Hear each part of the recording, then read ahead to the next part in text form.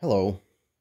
Here's a quick look at the six-piece 3D printed corner rounding jig set. The set comes with six pieces for rounding over to a quarter inch, half inch, three quarter inch, one inch, one and a quarter inches, and one and a half inch. The print files includes this base with angled slots. So you can put on a shelf like that for easy viewing of the pieces. The base also includes a flat panel in the back that you can drill and, and screw to mount flush against a wall easily. And because of the angled slots, the jigs will nest in there and hang quite nicely.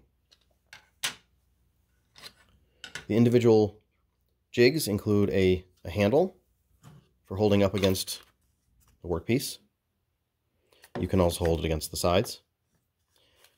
The jig has a, a flat face. These are printed face down, which means you also can use the jig upside down against a work table, such as a router table, with a uh, bearing on the bottom of the bit. So you put the workpiece on top, like that. And of course, you can use it like that if you have a, a, a cutting bit with a bearing on the top. The pieces have plenty of run out on the curve, so you get a flush, clean cut out to the out out beyond the curve with a stop there. The, the sides have a, a little trench or a gutter for dust, as well as if you have a kind of a fuzzy edge on your workpiece, it won't interfere with, with the alignment.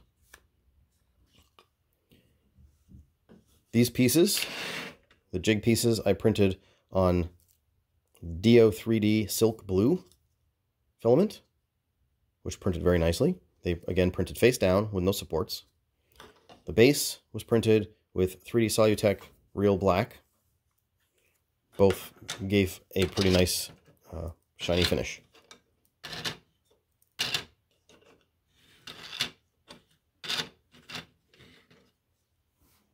There you go.